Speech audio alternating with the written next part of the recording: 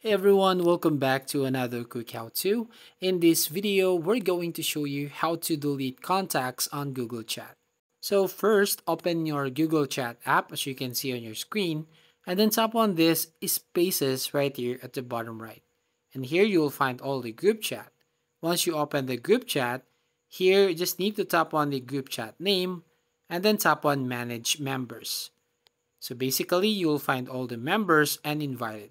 So all you need to do to delete contacts is tap on the three dots at the right side of that contact name. And here, you'll find a uh, delete button or remove contacts on Google Chat. So for example here, tap on three dots, then tap on remove from space. Once you remove from space, it will now delete it on your contacts. So that's how you basically delete contacts on Google Chat. So thank you for watching. Please like and subscribe to this channel. And don't forget to ring the bell icon to notify you on the next video.